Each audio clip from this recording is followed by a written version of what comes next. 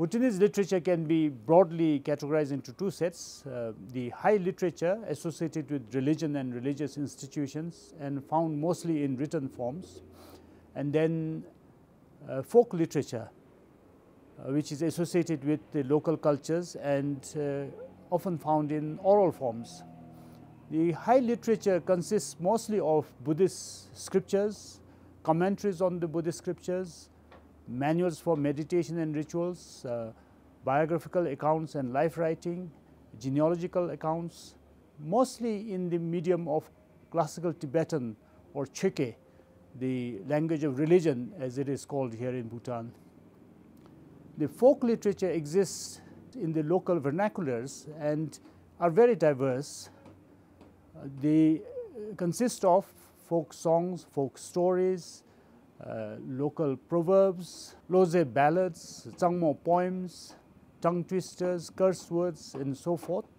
Uh, and also in numerous origin stories, genealogical accounts in oral forms, a lot of stories about sacred sites and sacred objects, local histories and so forth. And when you look at these two sets, the first set of high literature is similar to general Tibetan Buddhist literary uh, compositions.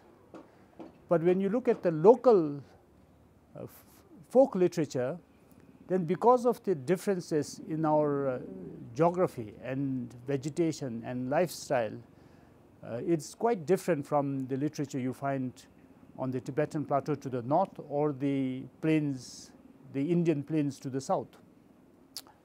Now, one of the very unique things that Bhutan has is this cultural continuity. Uh, Bhutan has never been colonized by a foreign power. It has never had any major natural calamities or uh, social unrest. So, Bhutan enjoys this uh, incredible literary and cultural uh, heritage that has remained intact for many centuries.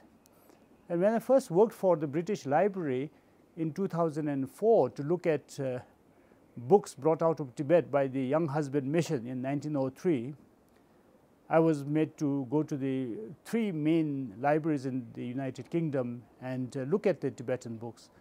And it was at that time that I was inspired to look at the archival collections here in Bhutan in the numerous temples across the country. Bhutan claims to have about 2,500 temples. Even if we assume that 10 percent of these temples would have a good library, we are looking at about 250 archival uh, collections and libraries.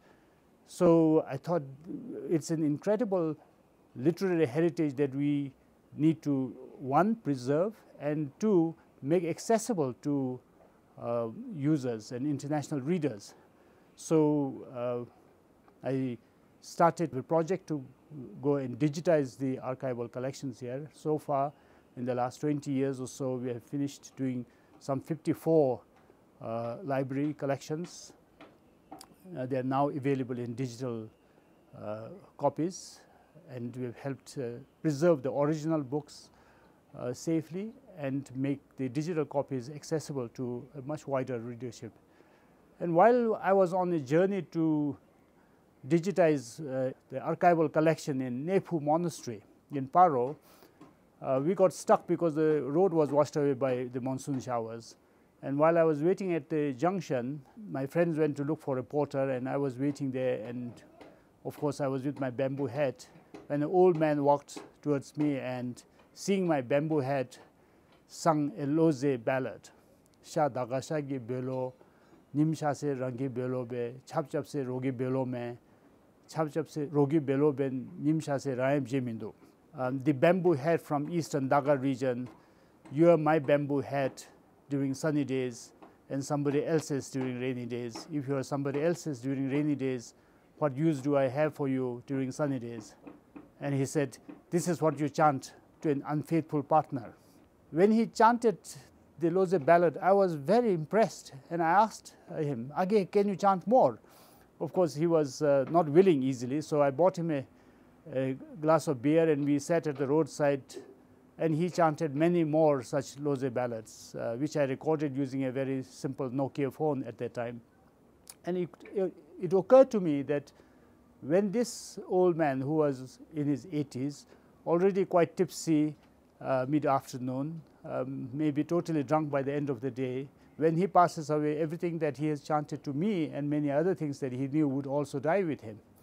And that sort of uh, encouraged me to look for funding to do a major documentation of uh, Bhutan's oral traditions. So, we have managed to now record over 3,300 hours of uh, folk stories, folk songs, ballads, poems, uh, tongue twisters, curse words, uh, proverbs, culinary recipes, ethnobotanical knowledge, uh, cultural practices that fall within the intangible cultural sort of domain. These recordings basically uh, contain the folk literature that even today remains largely in oral forms are, and are yet to be uh, transcribed properly, documented properly. So, today as Bhutan goes through this very rapid transition from an isolated uh, hermetic kingdom to become a full member of the global village, from a um, largely oral society to an audiovisual world, from a totally rural community 50 years ago to now a largely urban society, from a uh, subsistence farming economy to a, a capitalist consumerist market economy, from a medieval monarchy to a multi-party democracy, from a nature-based uh, mind-centered spiritual past to now a very secular, scientific, globalized, materialistic worldview. A um, lot of these literatures and the, the content, the message that these two different sets of literature has so far transmitted, they remain highly, highly endangered. Today, a lot of young Bhutanese don't even have a very clear command of the local languages in which these literature exist. And uh, there is a major generation gap between the old and the new.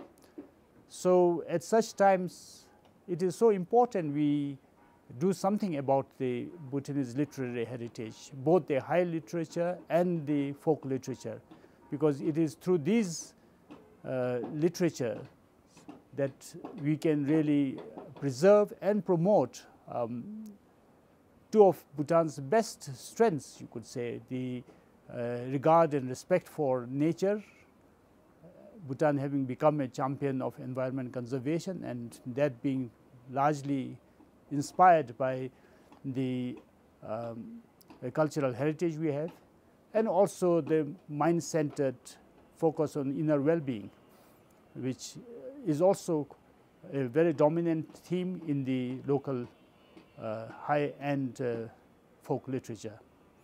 So, I believe um, the traditional literature of Bhutan to be very, very important uh, vehicles for transmitting these timeless and these very, very uh, important values for Bhutan as well as humanity um, in general.